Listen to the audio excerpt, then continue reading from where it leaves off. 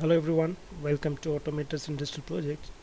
In today's video we will tell you about use of for loop with indexing.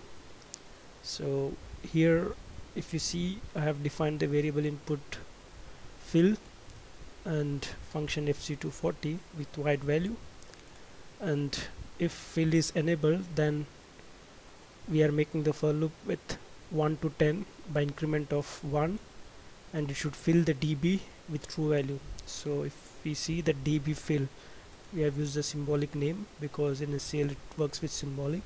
So db underscore fill.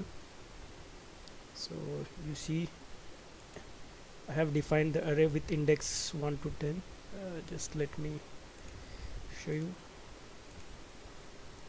You see 1 to 20 sorry it's not 1 to 10 1 to 20 and these are the indexes that 1 2 3 4 5 6 and same has been defined in the program. So j is equal to 1 to 10 if you want we can use 1 to 20 1 to 15 depending upon the requirement. So this program will fill true value in for loop in indexes 1 to 10 so let's see in the program. Let's monitor this. Now this is false. And when I enable this fill you see 1 to 10 the value has been filled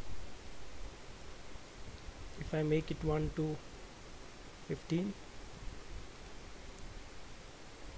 compile it download you see 1 to 15 thank you for watching this video